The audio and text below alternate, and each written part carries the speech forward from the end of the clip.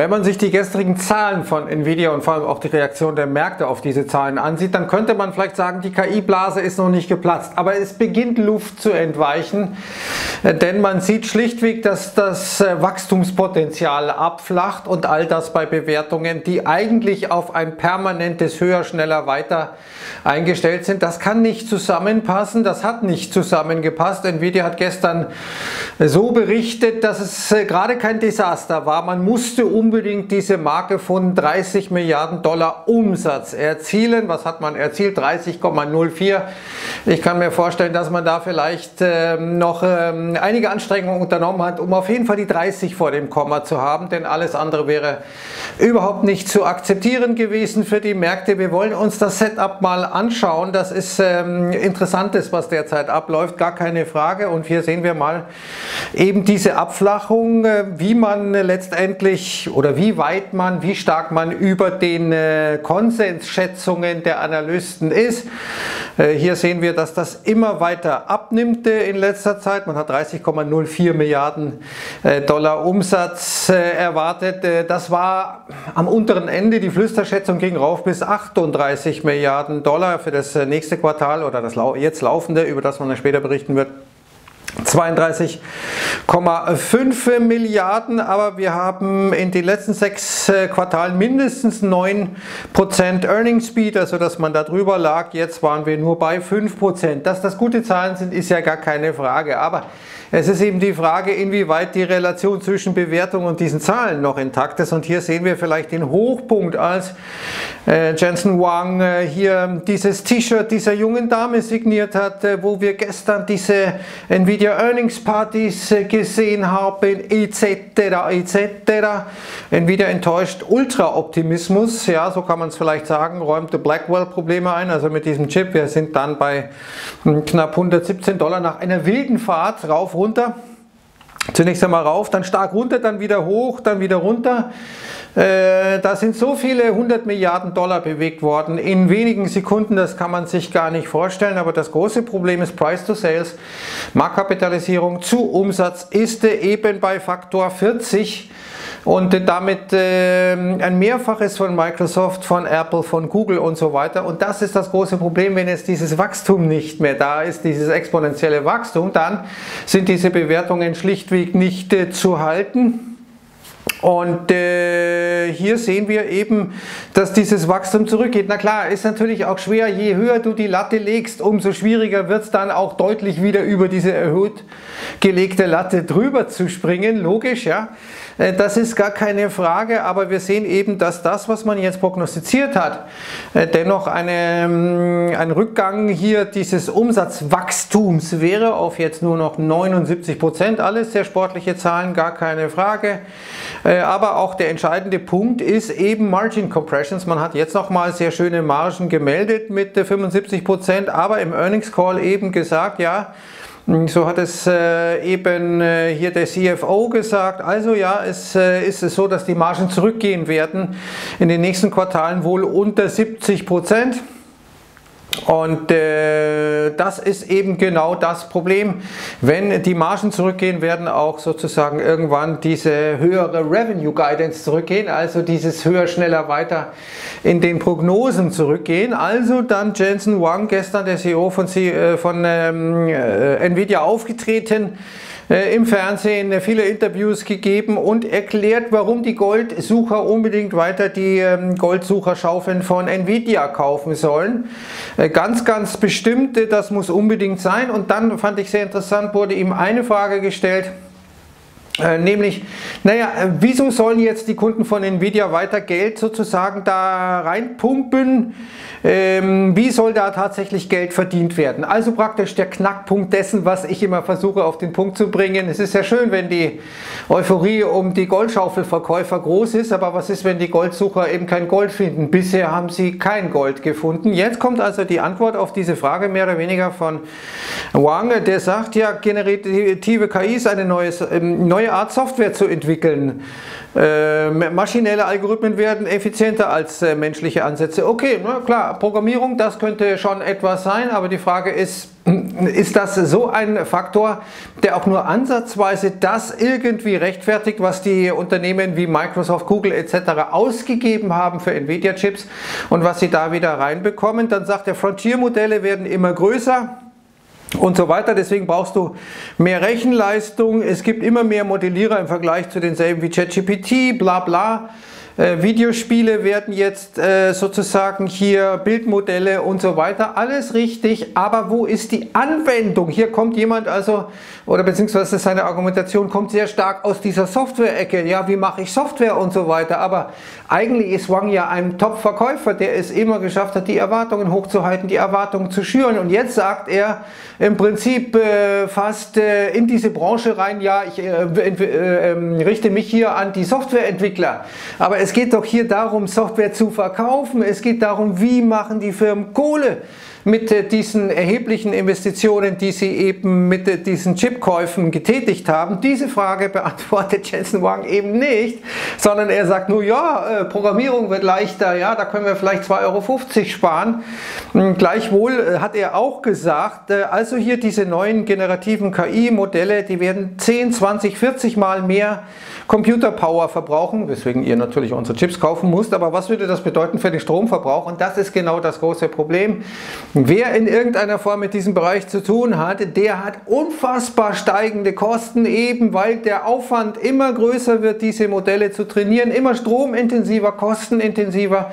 Und da musst du dann, wenn du diesen Aufwand eingehst, so viel Geld dafür ausgibst, in irgendeiner Form etwas haben, womit du dir diesen ganzen Aufwand wieder reinholst. Und der ist nicht sichtbar. Der ist nicht sichtbar bei Microsoft, nicht sichtbar bei Google.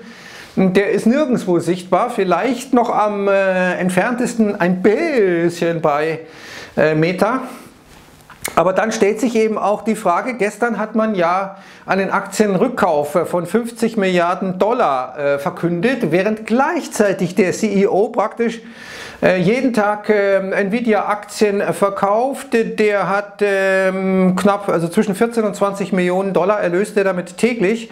Insgesamt hat er jetzt äh, in letzter Zeit 580 ähm, Millionen Dollar erzielt mit dem Verkauf seiner Aktien. Klar, man diversifiziert, aber es ist natürlich komisch, dass der CEO permanent verkauft, fast täglich, während gleichzeitig das Unternehmen die Aktien zurückkauft. Und natürlich stellt sich dann die Frage, naja, wenn der verkauft, ist das vielleicht, sollte ich das auch tun? Äh, hast du kein Vertrauen in die Aktie? Das ist sozusagen diese Frage, die sich natürlich aufdrängt. Ähm, aufdrängt. Und hier sehen wir, Nvidia hatte 2024 oder hat ähm, 11,7% des US-BIPs, was die Bewertung betrifft. Cisco war im Hochpunkt bei 5,5%. Cisco hat nie so viel Geld verdient wie Nvidia, gar keine Frage. Aber äh, warum äh, kauft man die eigenen Aktien zurück? Erst hat man den Aktiensplit gemacht, also die Aktie optisch günstiger gemacht. Jetzt hier dieser Rückkauf äh, müsste doch eigentlich nicht notwendig sein bei einem solchen Growth-Titel, also einem so wachstumsstarken Unternehmen. Warum greift man dann auf Dinge zurück, die sozusagen die Anleger bei der Stange halten soll? Also hier geht es darum, die vollkommen überzogene Bewertung zu halten, wie hier jemand ähm, kommentiert. Und 50 Milliarden Dollar klingen viel, aber das ist immerhin der Gewinn äh, von drei Quartalen. Wir haben jetzt ähm, aus den Zahlen gesehen, man hat einen Nettogewinn von 16 Milliarden Dollar, also ungefähr drei Quartale, die man da mal eben ausschüttet an Gewinnen. Das muss ja irgendwie auch funktionieren auf Dauer. Das ist aber nur 1,6 Prozent der Börsenkapitalisierung. Da sieht man, wie die Bewertung ist. Und das ist eben das, was Goldman Sachs neulich gesagt hat. Ja, schön, wir haben jetzt eine Zeit lang KI. Okay. Aber wo ist diese Killer-Applikation? Wo ist die Applikation, mit der man richtig Geld verdient? Overbuilding things doesn't have use for. Wenn man also die Dinge wie Datencenter sozusagen übertreibt, für die es eigentlich keine Anwendung gibt, äh, dann endet das normalerweise nicht so richtig gut und genau das ist der Punkt. Die enorme Kosten, die man hat, Strom und so weiter und so fort, die stehen bisher in keinerlei Aufwand zum Nutzen. Äh, deswegen halten sich die meisten Firmen eben auch sehr stark zurück und hier sehen wir nochmal dieses Gartner-Modell. Ich denke, dass wir diese Peak of Inflated Expectations bereits bereits gesehen haben bei Nvidia. Ähm, und äh, interessant auch bei Survey. Die Firma hat gestern mal wieder einen sehr unspezifischen Einblick in die Kunden gegeben. Etwa die Hälfte bestehen aus fünf Kunden. Einer davon ist es Super Microcomputer, äh, die gestern gesagt haben, äh, wir haben ein bisschen was vielleicht in der Bilanzen, was nicht ganz sauber ist, weswegen wir mal die Zahlen nicht veröffentlichen können. Und raten Sie mal, wer der größte Kunde von Super Microcomputer ist. CoreWeave, das ist jenes Unternehmen, das äh, nochmal zu äh, Ende des Quartals äh, kürzlich äh, nochmal sehr viele Nvidia-Chips äh, bestellt hat, um äh, die Erwartungen zu übertreffen. Das auf Kredit von Unternehmen, die sehr stark an Nvidia beteiligt sind. Nvidia ist an CoreWeave beteiligt.